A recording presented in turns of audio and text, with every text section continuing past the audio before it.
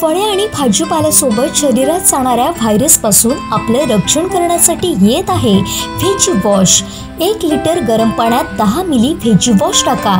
या पाण्यात भाजीपाला फळे स्वच्छ धुवून निर्जंतुक करा आणि निरोगी जीवन जगा. व्हायरसमुक्त जीवनासाठी आजच मागवा व्हेजी वॉश. संपर्क चौऱ्याण्णव दोनशे तीस बावन्न शून्य सहासष्ट. पारंपरिक मच्छीमारांना नेहमी आपल्या अस्तित्वासाठी झटावं लागतं. इथल्या पारंपरिक मच्छीमारांवर गोव्यात गुन्हे दाखल झाले आहेत. त्यामुळे एलईडी मासेमारी करणाऱ्यांवरही गुन्हे दाखल व्हायला हवेत. शिवाय एलईडी बोट जप्त करण्यात यावी अशी मागणी माजी खासदार निलेश राणे यांनी केली आहे.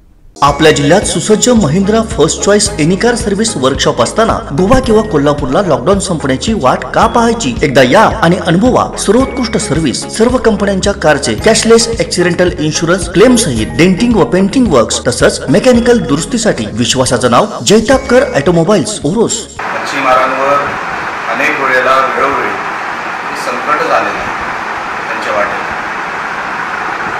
आणि जो काय उद्रेक झाला तो आपण हा काय पहिल्यांदा बघितलेला नाही? अनेक वेळेला पारंपरिक मच्छीमारांना आपल्या अस्तित्वासाठी झटावं लागतं. ते आपण वेळोवेळी बघितले. आणि म्हणून त्यांची बाजू मांडण्यासाठी आज मी आणि केली साहेब आम्ही पोलीस स्टेशनला गेलो. चर्चा केली. की कारवाई झाली तर ती समान झाली पाहिजे. एल ई डी फिशिंगला विरोध आहे अकरा नॉटिकल माईलमध्ये असू दे किंवा पन्नास नॉटिकल माईलमध्ये असू दे. तर तो विरोध आहे.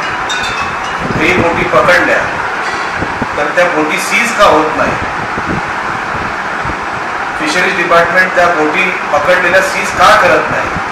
त्याच्यावरती कायदा आहे. किमान सहा महिने तरी ती बोट सीज झाली पाहिजे. पकडलेली बोट. असा कायदा म्हणतो हे मी म्हणत नाही. अशी सगळी एक चर्चा पी आय साहेबांबरोबर झाली. आणि मी मग सन्मान्य मंत्री असलम शेख यांच्याशी मी स्वतः बोललो. की साहेब जर कंप्लेंट गोव्यामध्ये झाली असेल आमच्या मच्छीमारांची कारण का मालकाची बोट पळवण्याचे पण प्रकार मालवणमध्ये घडलेले आहेत. रातोरात.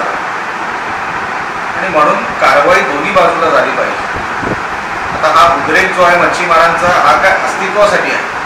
त्यांना काय आवडतं म्हणून कोण काय करत नाही. म्हणजे पारंपरिक मच्छीमार बिचारे काय करणार? एल ई डी फिशिंग बंदच आहे.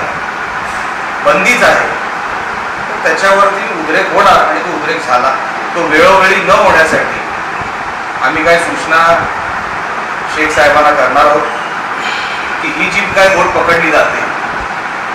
जर भविष्यामध्ये अशा बोटी पकडल्या गेल्या तर ते किमान सहा आठ महिने सीज झाल्या पाहिजे.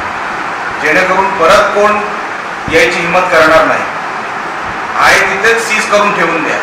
मग आपण बघूया कोण एल डी फिशिंग करते असा एक उपाय आमच्या डोक्यात सुचलेला आहे. पी आय साहेबांनाही तो पटलेला आहे. आणि तसं आम्ही त्यांच्याशी बोललो आहे आता क्रॉस कंप्लेंट कशी करायची? फिशरीज डिपार्टमेंटनी क्रॉस कंप्लेंट करावी. कारण का फिशरीज डिपार्टमेंटचं ते काम आहे.